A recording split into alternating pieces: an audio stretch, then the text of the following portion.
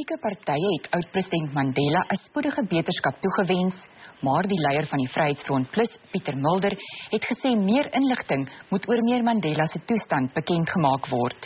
Die leier van die Inkatha Vryheidsparty, Mangosuthu Buthelezi, het agter sy misnoot te kenne gegee oor wat hy bestempel as 'n media sirkus by die Milpark Hospitaal in Johannesburg.